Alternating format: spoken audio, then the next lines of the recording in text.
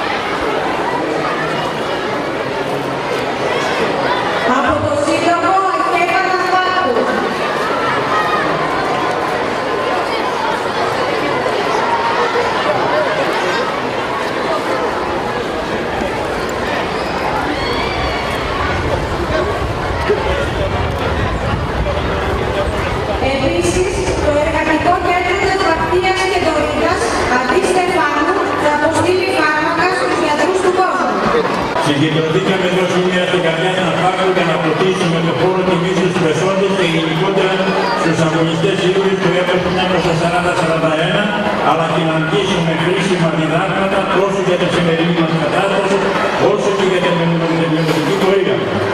Ήταν η μέρα που η θρησκειόφωνη ιστορία μας έταξε να πούμε το μεγάλο όχι. Ή να επαναλάβουμε το όχι που σαν υπόρροπο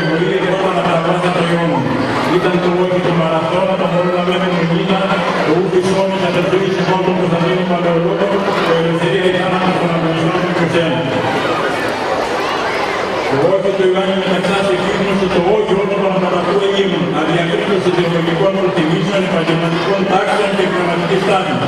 Δεν υπήρχε κανένας Έλληνας, μεγάλος και μικρός, νέος, οικαίος, άντρας ή γυναίκα που να σκεφτεί αν έπρεπε να κάνει το καθήκον. Την ιστορία της συνθέτουν πιο βασικά χαρακτηριστικά που ο χρόνος αποχωρεί. Το ένα είναι η σειρά των γεγονότων και ένα άλλο της εποχής. Το πρώτο τα γεγονότα